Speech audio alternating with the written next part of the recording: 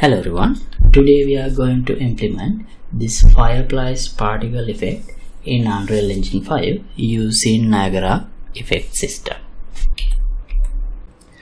Alright, so this is fairly an easy thing to do.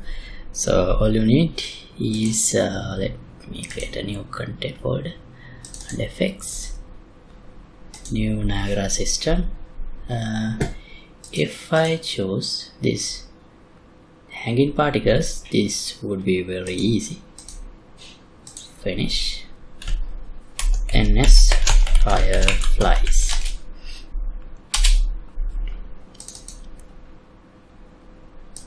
Right let me put it here.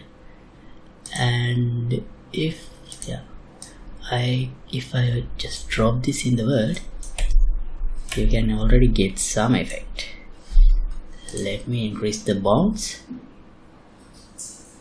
under this box. Shape location. Box size I make it 1000 by 1000 by 1000 right. Now the next thing is we need to get that blinking effect for fireflies. So to get that we have this scale color. And this is what we have at the moment so let me reset this. And add a sine.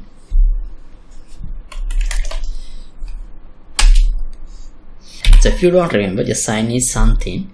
Uh, when we put some value x in this we, case we are going to put the particle age or time uh, the sine value will resonate uh, between plus 1 and minus 1 so this is the property we are going to use here. So by default when I put sine we have emitter age. So that's why we get this constant blinking effect. See? So everything is uh, blinks in synchronous. So this has to be random. So instead of using emitter age we can use particle age. Now now see? Now each particle has a, a blinking randomly. Next thing is we did we need to see visible movements. Unless the fireflies are on a leaf or something if they are flying we need to see the movement.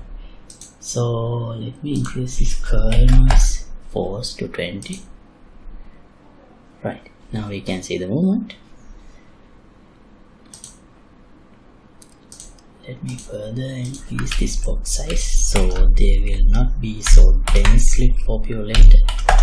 And color finally. And initialize particle.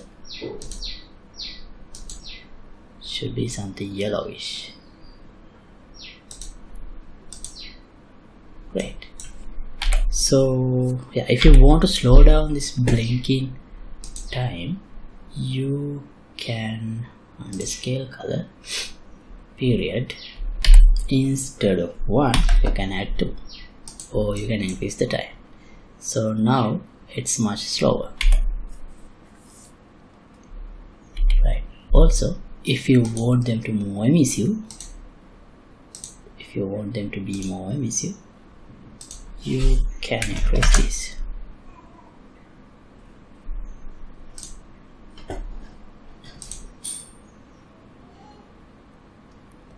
alright so that's it.